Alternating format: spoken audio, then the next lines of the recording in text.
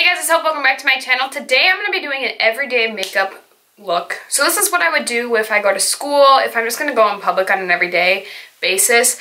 Yes, I'll go in public with more makeup on on the weekends because I have more time to play around with makeup, but on a school day, I, I give myself about 20-ish minutes to do my makeup, and so I'm actually kind of slow when it comes to makeup. I get distracted, I sit in blend for 10 minutes, and I'm not like in a hurry. But like this is what I do pretty much on an everyday basis. It depends. Some days I just wear concealer, powder, brows, mascara.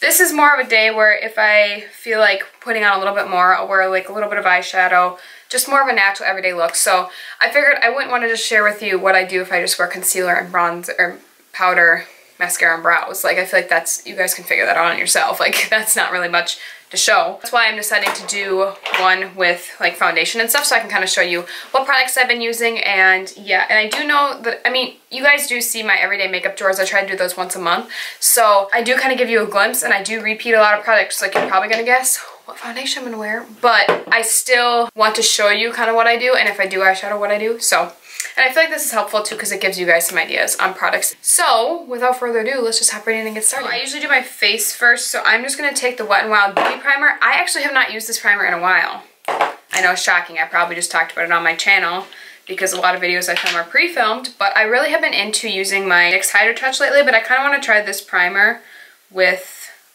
this foundation combo I've been using. I don't think I've tried it with the combo yet. And I'm also going to use pore primer on my nose. So this is just going to go on my cheeks and my chin, but I'll add a little bit of other primer to my chin. And then I will take the L'Oreal Magic Perfecting Base. This is just a um, whipped primer. And use a brush and try and scoop a little bit of this out because I don't feel like digging my nails in there. And I've just kind of been using this on my nose. Just because I have a lot of pores on my nose. A little bit on my chin. Foundation combo that I've actually been using a lot is the Physicians Formula Healthy Foundation with the CoverGirl Vitalist Healthy Elixir Foundation. Just because I was a little bit tan at the beginning of the year, so I was just kind of trying to get a little darker just because I was tan, but now I'm pretty much the shade of this foundation. I have LW2 in this foundation. Um, I freaking love this foundation and we'll talk about it until the day I die because it is just amazing. It is just my favorite. It just looks so beautiful on the skin. And I've noticed a lot of people that I watch love this foundation. I'll just take like one pump, not even a full pump, of the CoverGirl one. And honestly, I'll take my fingers and I'll just kind of slightly blend it out with my fingers. This is what I've been doing. Just take a brush, which is the BH Cosmetics 135 brush. Somebody commented, I probably respond, I haven't responded yet, but I saw somebody comment on my video asking what brush I'm using. I got this in a set, but this is the BH Cosmetics 135 brush. Not sure if you can get this separate or not, but I love this brush. I use it all the time. And I love a brush with this foundation for some reason. I just like it a lot more. Then I'll go in with my L'Oreal sponge or my Real Technique sponge, whatever one I have closest to me, and just kind of go over and make sure it's all blended in. I like to do this a lot of times when I use a brush because I just feel like the Beauty Blender really like just sinks it in the skin. Catrice Liquid Camouflage Concealer. I'm like all out of this shade in Porcelain. I love this concealer. So then I also have the shade 20, which is be light beige. I'm probably going to have to purchase porcelain again. Actually, they have another shade too. I do have this Wet n Wild concealer that I'm just going to use too. A lot of times I'll use this one for blemishes on my chin. I don't necessarily like this for under my eyes. I like a sponge when I apply my concealer. But I don't like the new L'Oreal sponge. The old one is so much better. Thank you, Dad, for vacuuming while I'm filming. I just love it. Okay, there's a vacuum going in the background. You're just gonna have to excuse that. I'm just gonna take the e.l.f. finishing powder in light medium. I know, you're shocked I'm not using the Maybelline Super Stay Better Skin powder. Just wait, it's coming. So in my makeup use up, I had this e.l.f. finishing powder, so that's why I'm gonna use that today. I've been trying to use it up and I actually really like this powder. I just have been so stuck on the stupid Maybelline Superstay Better Skin. But I still like to use this one like on my chin because it really just smooths it out. It adds a little extra coverage. Physicians Formula Butter Bronzer for bronzer. I change out my bronzers a lot because I can just really bronze. And then I've actually honestly been into using this Benefit Dallas blush. Sometimes I don't use bronzer and sometimes I'll just use blush.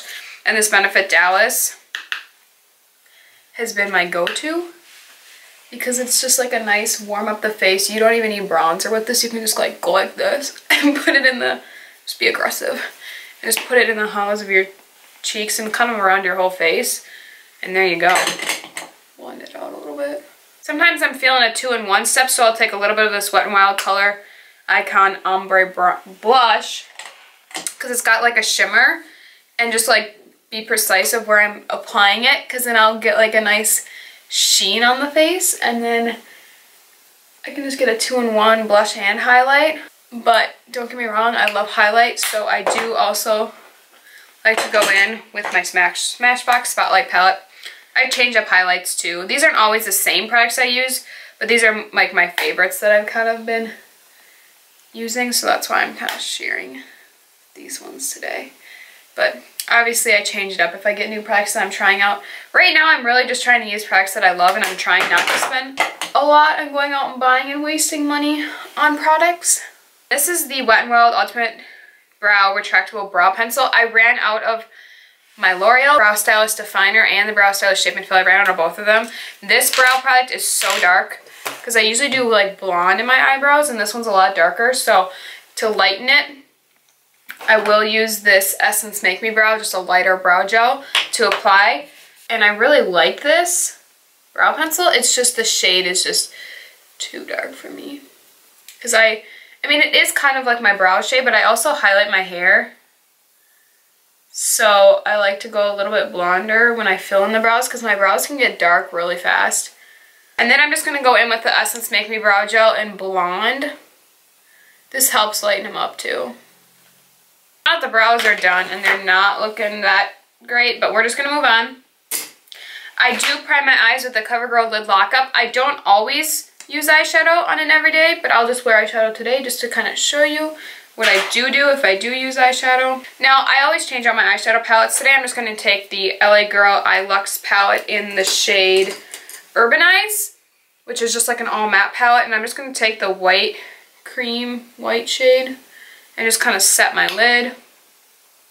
I'm just going to, a lot of times I'll take bronzer in my crease, but a lot of times I want a little bit more color and pigment. So I'm just like literally just, this is a Morphe M441 brush. Kind of fluffing this in very messily. If I feel like I want a little bit more, I'll take like one of the brown shades in this palette. I kind of mixed them just now. A lot of times I'm not going for a really warm look, so I'll take a little bit of a cool, mix it in with the cooler tone.